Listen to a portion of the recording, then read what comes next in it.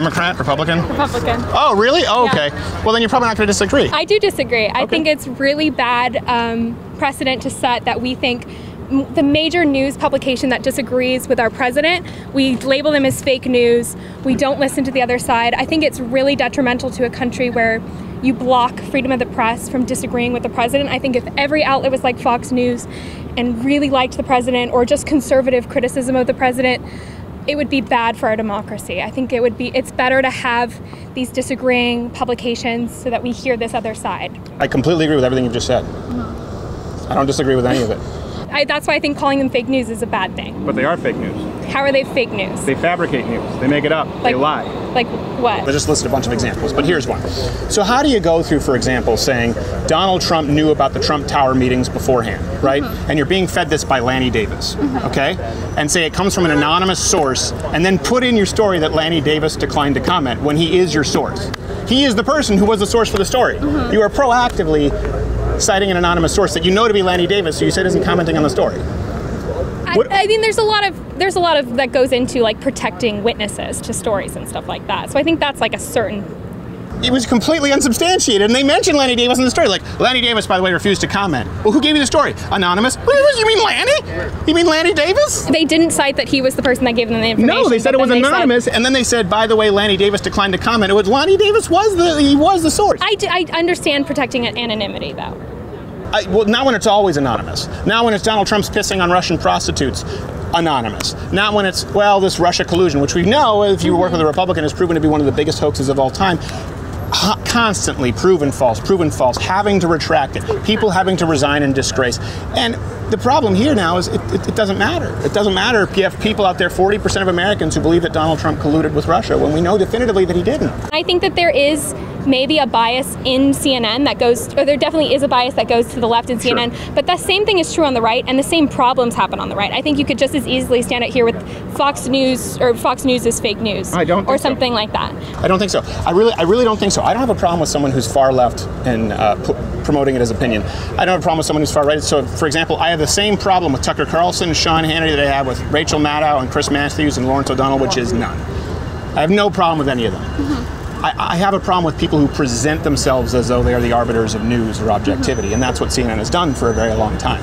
That's my issue with them. I They mean, have Fox pushed- News' slogan until last year was fair and balanced. The radio side. And by the way, their news, though, their news is significantly more fair and balanced. There's a difference between the opinion side. So, for example, Fox News is really clear in separating the Bill O'Reillys, the Sean Hannitys, the Tucker Carlsons of the world from, say, you know, Shep Smith, who's a center leftist gay guy, right?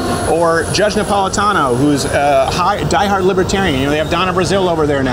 Whereas when you look at the host at CNN, Don Lemon, you look at uh, Anderson Cooper, you look at Chris Cuomo for crying out loud, and they present it as though it's news. That's my issue. And it is, to me, always remarkable that the stories that okay, we can say fabrication occurs on any news network, um, always seems to tar and feather and uh, be an attempt to undermine the legitimacy of our sitting president. I mean, you do have to acknowledge that when they get it wrong, they always get it wrong in a way that, if it stuck, would be very harmful to the president. Yeah, definitely. But I think that an important thing to notice about all those examples that you did, and those are good examples that you should be pointing out, that they retracted them, that they did their best to go against and say, oh, this was wrong. I think that undermines them being. Well, they didn't until they were caught. They didn't until they were caught. That's how most people function.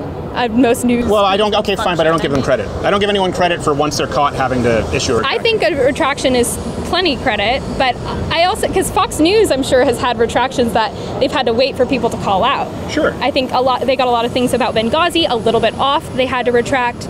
Um, But a little bit off, but, But Brian Stelter, I- I his like entire know- show was Russia. Right? That, come on, you know this. CNN, know, their entire lineup was Russia, which was all false. But there was a all lot of things that we didn't know about Russia. That it was good that there So was this stuff up. agency looking into, or just speculating. That's a good thing. Just if someone says I'm speculating, fine. But if someone says we're delivering the news, Mm-hmm. that's a problem. Like Jussie Smollett, if they said we're speculating, that's not what Brian Stelter and Brooke Baldwin went out and did. They he talked about it being this horrendous hate crime, that this is a sign of rising hate crimes across the United States of America. After the Jussie Smollett hoax was revealed, Brian Stelter said, "Well, I guess we'll never know what happened that fateful evening." Like. My issue here is when you do have, uh, obviously we're using the term fake news because President Trump uses it, but they fight back and say we're legitimate news. They're not. I think that they do do things I think they have a legitimate purpose in our democracy. That's what I don't think. I think they get a lot of things wrong, and I think it's great that you are calling them out or that people on the right are calling them out. But I just think calling them fake news and I, I, I, that's what I want to know what your end goal is of calling them fake news. Is it to get them not watch? Is it to get them shut No, no, down? no, is I- it to get President Trump to do something towards them? No, and that's a very fair question. As a matter of fact, anyone here who watches my show, they know that I say bookmark Huffington Post, Salon, uh, Slate, CNN. That's all I read. I tell people always know what the opposition is, is, is mm-hmm. telling you. You should be informed.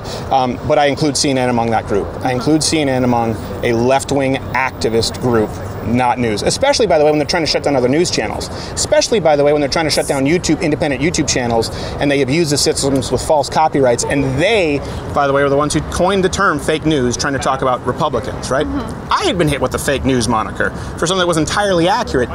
This is actually a, tweet. a lot of people don't remember. Fake news was a term invented by the left, and then Donald Trump said, "Okay, well, you want to talk about fake news," and went down the just went through the laundry list of all the fake fabrications from CNN. So my problem is not with someone being left.